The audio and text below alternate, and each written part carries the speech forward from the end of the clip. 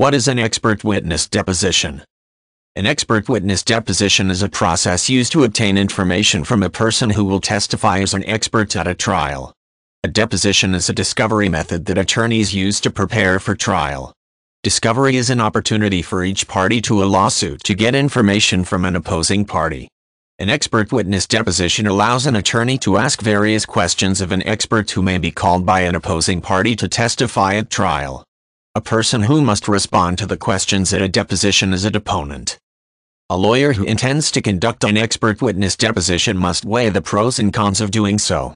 For instance, one concern is the cost of conducting such a deposition.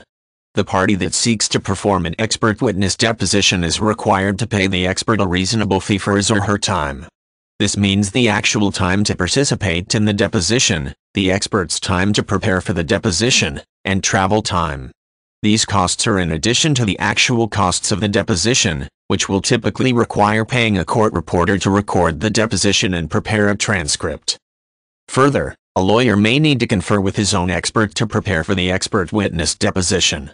A lawyer may also need to have his own expert present at the deposition to help by making suggestions as to what questions the lawyer should ask as follow-up to responses.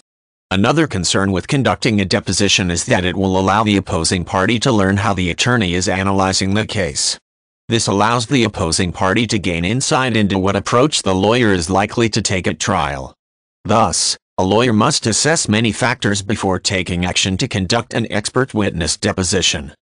If a lawyer decides that it is best to conduct an expert witness deposition, the lawyer will likely proceed by serving interrogatories on the expert prior to the deposition. Interrogatories are another discovery device that a lawyer will use to get information from an opposing party. Interrogatories are a set of written questions that a lawyer will design to help prepare a case for trial. Lawyers will typically serve interrogatories on an expert to develop a strategy on what types of questions to ask during the expert witness deposition. A lawyer will design the interrogatories carefully to avoid evasive responses, and the person responding to the interrogatories must do so under oath.